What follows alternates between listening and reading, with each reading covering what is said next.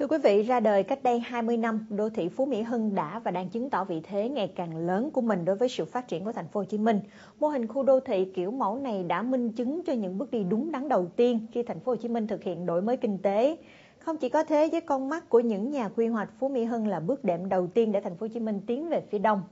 Theo đó, trong tương lai khi khu đô thị Nam Sài Gòn được hình thành hoàn chỉnh, thành phố Hồ Chí Minh sẽ có đường hầm nối liền Cần Giờ với Vũng Tàu.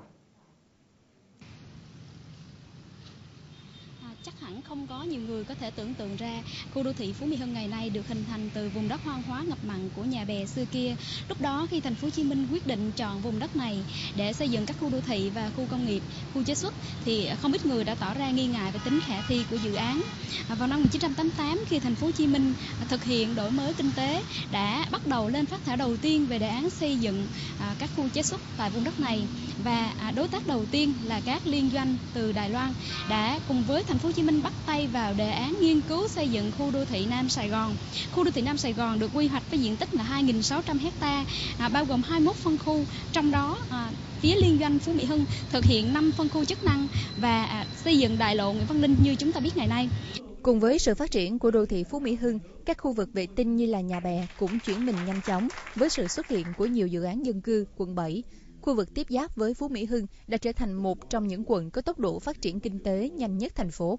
Với một kiểu mẫu khá mới mẻ, đâu đó vẫn có suy nghĩ Phú Mỹ Hưng không xa cách về địa lý mà xa cách về mặt tâm lý, vì đây là nơi được chọn làm điểm dừng chân của nhiều người thu nhập cao. Thế nhưng ông Gary Sen, chủ tịch công ty phát triển Phú Mỹ Hưng không hoàn toàn đồng tình với quan điểm này, bởi đô thị này vẫn đang trong giai đoạn phát triển, sự đa dạng hóa dân cư sẽ là điều tất yếu.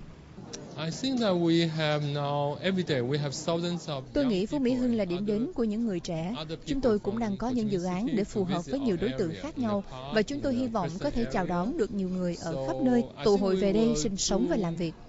Và theo nhiều kiến trúc sư, đô thị Phú Mỹ Hưng vẫn chưa triệt để trong khai thác giá trị của dòng sông. Phú Mỹ Hưng vẫn cần có thêm nhiều công trình nữa, trong đó có những công trình kiến trúc mang tính thời đại.